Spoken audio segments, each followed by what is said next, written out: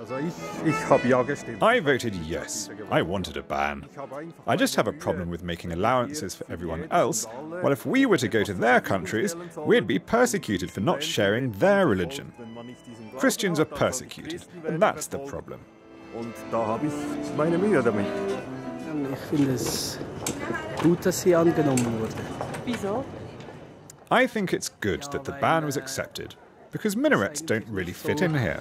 Zu unserem Land passt, aber wir respektieren natürlich alle äh, verschiedene Religionen, aber äh, Of course, we respect all religions, but we can't practice or promote our religions freely in other countries.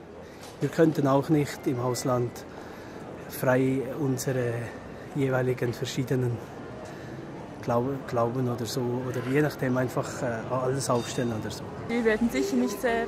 It doesn't make us look very nice. They won't want us in Islamic countries now. Ja, es es macht uns nicht sympathisch. Ja, ich finde es eigentlich äh, sehr schlimm, dass es so. I think it's very bad that it's got this far. Religious freedom should be respected around the world, and we should set an example so that all people can live together in peace. Menschen zusammen in Frieden leben können.